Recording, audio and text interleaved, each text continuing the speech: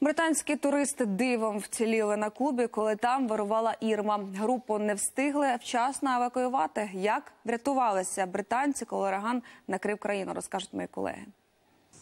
Місто Матанзас на Кубі повертається до звичного життя після урагану Ірма. На вулицях повалені дерева, пошкоджені вивіски з назвами готелів. В одному з них досі десятки туристів. Вони залишилися на Кубі, коли вирував буревій, і пережили негоду на острові. Найбільша група з Британії кажуть, влаштували грандіозну вечірку, коли Ірма трощилася навкруги.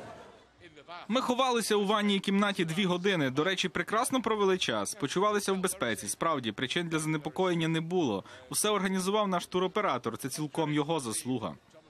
Ніч була найважчою, розповідають туристи. Пік урагану на Кубі. Шквальний вітер підкидав лежаки неподалік басейну та ламав пальми. Ірма знеструмила будинки в Матанзасі. Без світла залишилися і жителі готелю. Зранку туристи допомагали персоналу прибирати територію.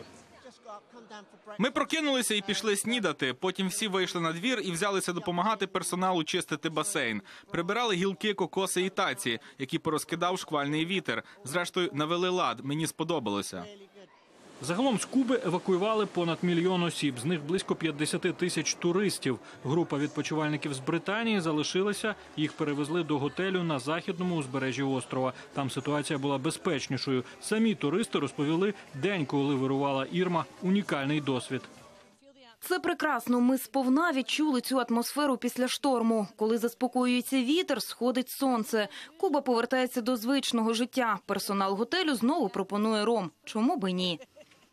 Під час урагану на Кубі загинули 10 людей. Проте цим туристам пощастило вціліти. Влада острова досі оцінює збитки. кажуть, лише витрати на відновлення інфраструктури будуть істотні. Загальні збитки від Ірми для всього регіону оцінюють у 300 мільярдів доларів. Дмитро Євчен, новини телеканал Інтер.